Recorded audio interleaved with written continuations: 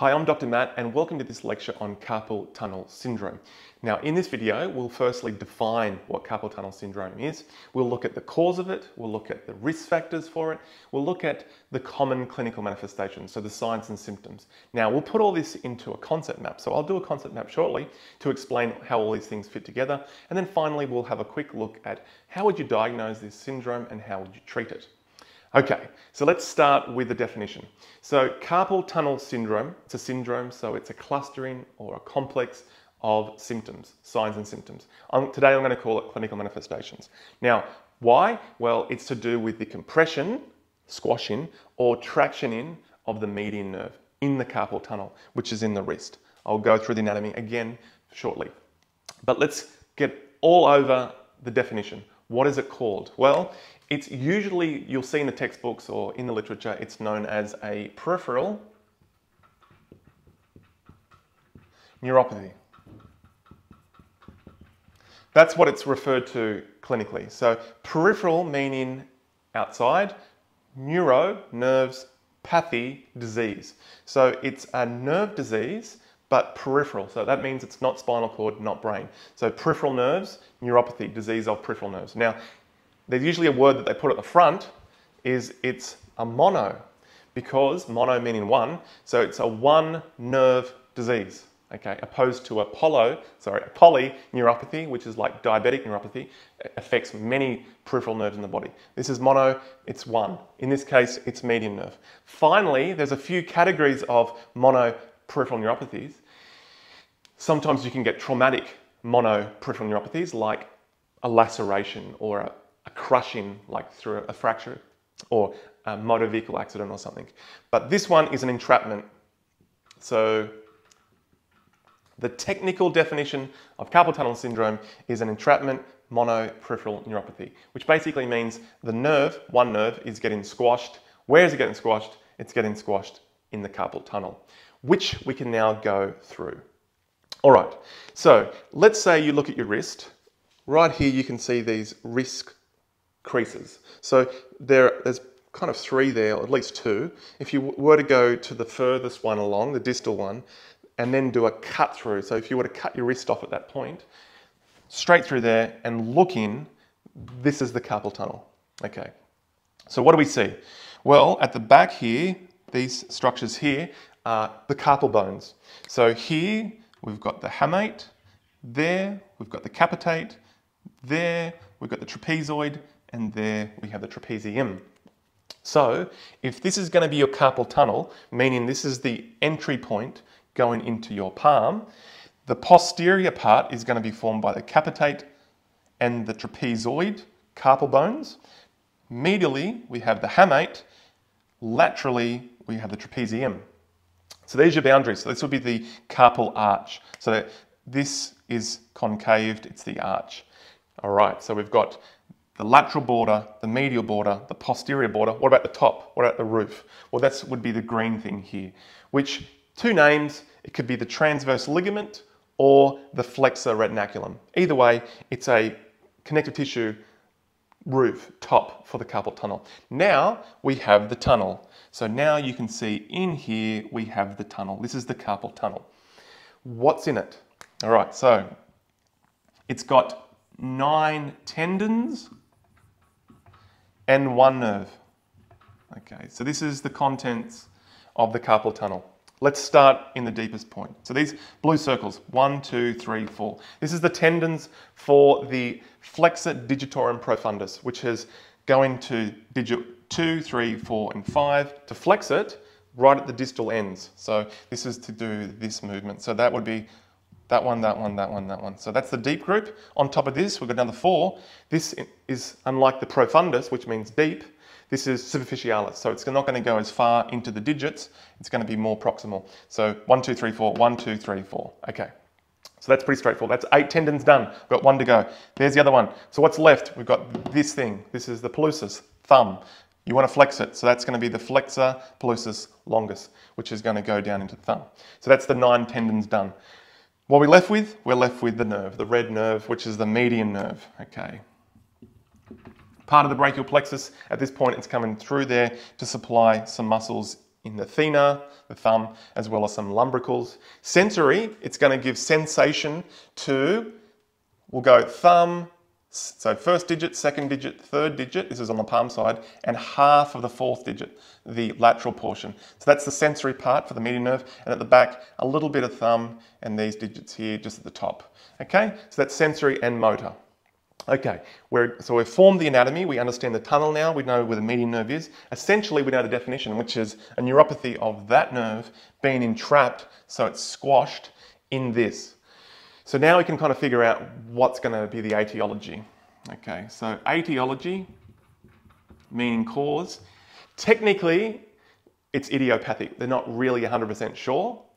They generally, this is literature, they generally assume that it's multifactorial, many things, but it's probably safe it's due to an increase pressure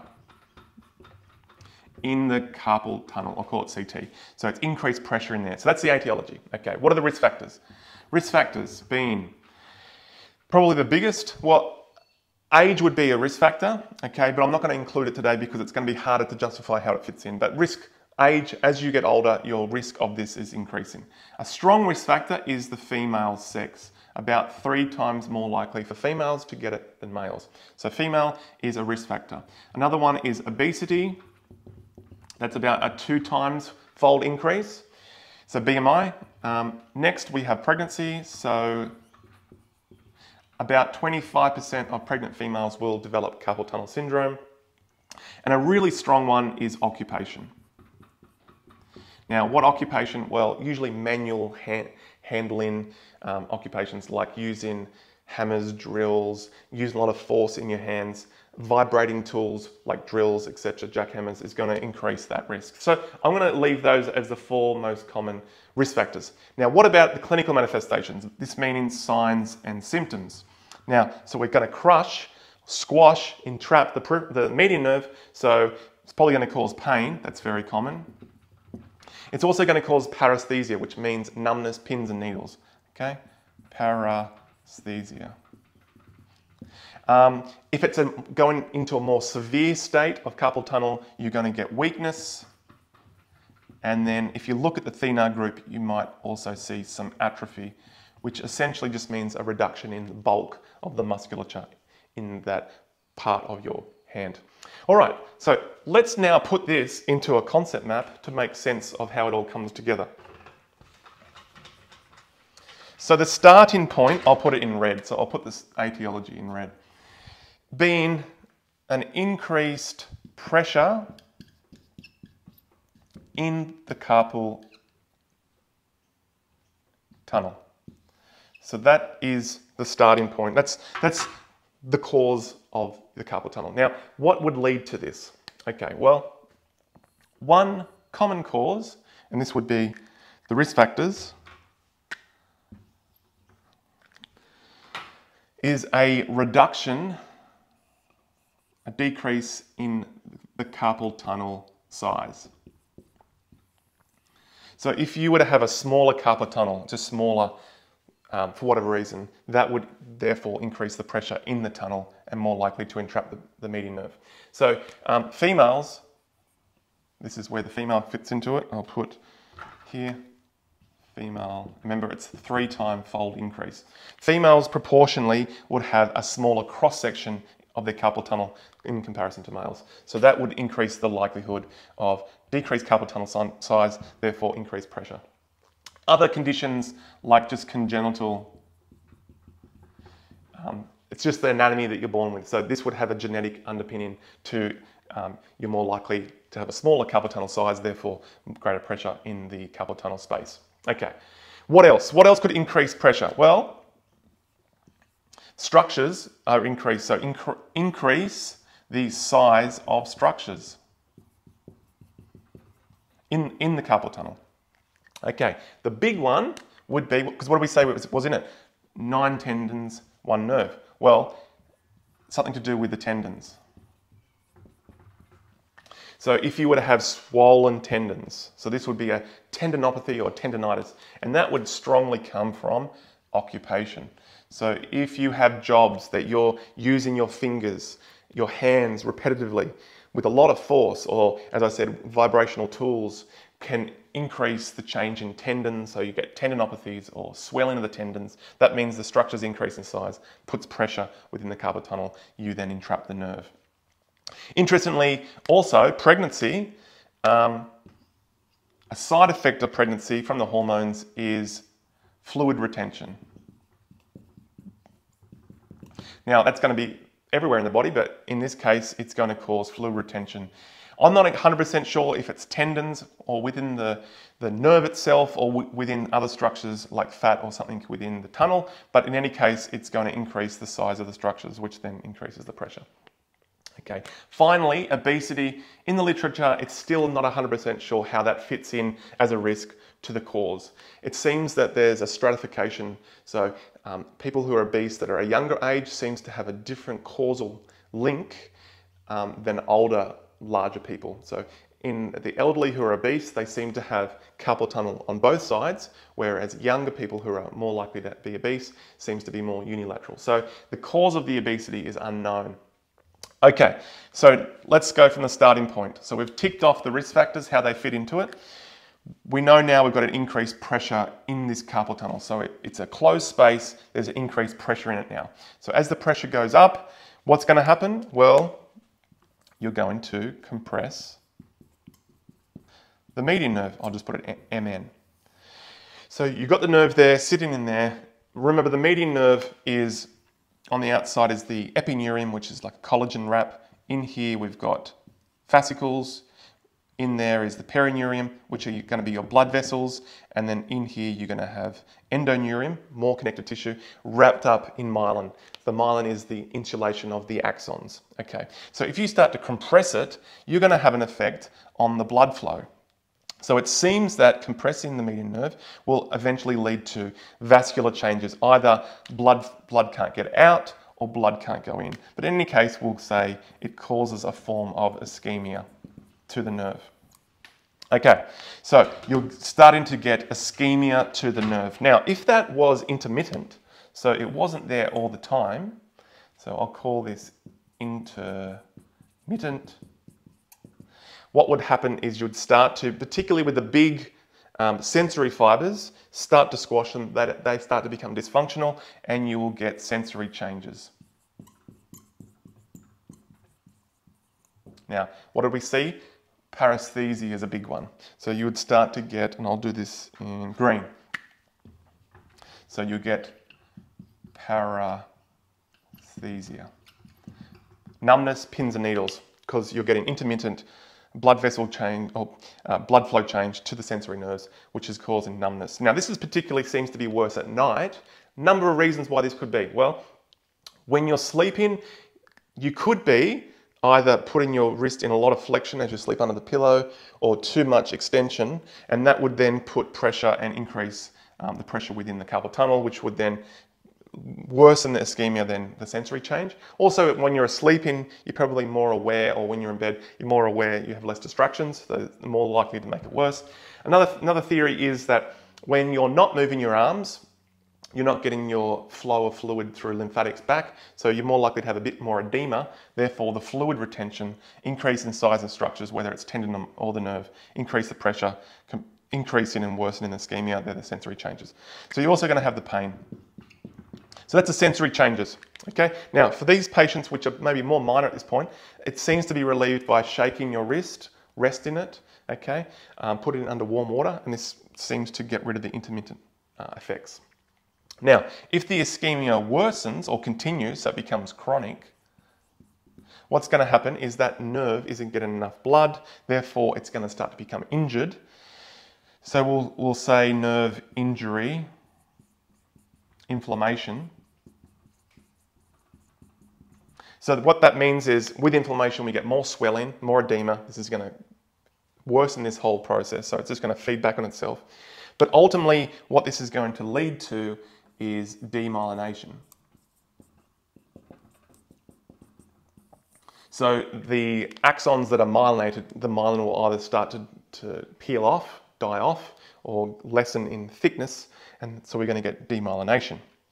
Now, at this point, you still might not know anything worse than this, so we might not know that this is getting more severe unless you were to do a diagnostic test. So if the doctor was to order a test, which we call a nerve conduction study, okay, so what this essentially is, is sending electrical impulses down the nerve and recording from the structures that the median nerve innervates. So we can do um, record from the muscle in the thenar group, or we can record from sensory um, skin and see how well the nerve conducts it.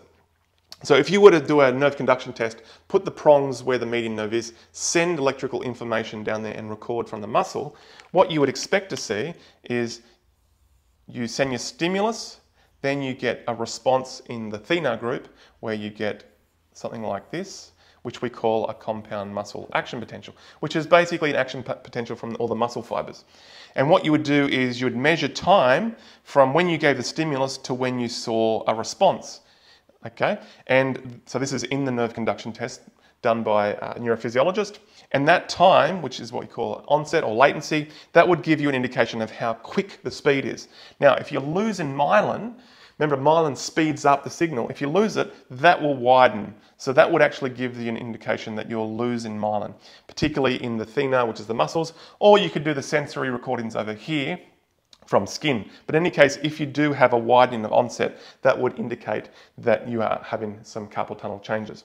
Now, if this continues to worsen, so the demyelination, so the myelin is now getting peeled off, dying off, that means the axon's not protected. That means you now get axonal loss. So now your axons of the nerve are dying, so you're reducing number. Okay, so if you do that, you're gonna, this is now going into a more severe state of carpal tunnel. And what you're gonna start to see is weakness because you've got less axons going to your muscles to tell them to contract and you're gonna get atrophy. Okay, so this is going down to the severe form of carpal tunnel because you're now losing axons. If you were to do the nerve conduction test now, what you'd also see is because you've got less axons, you've got less amplitude. So this size will start to drop down and that's giving you an indication of it's really becoming more severe. What else can be done? So how else would the person be diagnosed? Well, all the clinical manifestations, so the patient presenting with this is a good sign of carpal tunnel. You can bring on the, the effects. So if you were to get a patient and put their hands out like this and then dorsiflex, okay, sorry, flex like this, then you would kind of bring on the paresthesia pain in the dermatome of the median nerve, or you could do a Phalen test, which you do like this and hold it for a minute. And again, if you were to recreate the pain and the paresthesia in the area of the median nerve, that would be also sensitive to carpal tunnel, or you could do a Tinel test, which is you kind of tap on where the median nerve is, and if that tap in then, or percussion, brings on that kind of pain or the paresthesia, that would be an indication that there may be some carpal tunnel compression. Finally, so that's diagnosis. Finally, how's it treated? Well, again, it would be based on whether it's a minor, a moderate, or a severe. In the minor, we might just have minor changes that we saw here, and that might just be managed through splinting or taking pressure to reduce the pressure within the carpal tunnel. Moderate, okay, where you may have more severe signs and symptoms as well as changes in nerve conduction studies. You may use some anti-inflammatories like corticosteroids and they may inject the corticosteroids into the carpal tunnel to take the swelling, to get rid of the size of the structures, particularly the tendon, if it comes from the occupation. And then severe, if it's really bad, so we see the axonal loss, demyelination, bad pain, and then motor changes, atrophy, weakness, we may have to do, a, well, the surgeon have to do a release here. So somehow change the, the roof of it to give more space, so to increase the space of the carpal tunnel, which hopefully then can rectify the problem. So there you have it. That is carpal tunnel syndrome in a nutshell. Hopefully now you understand the risk factors, etiology, clinical manifestations, how is it diagnosed, and how it's managed.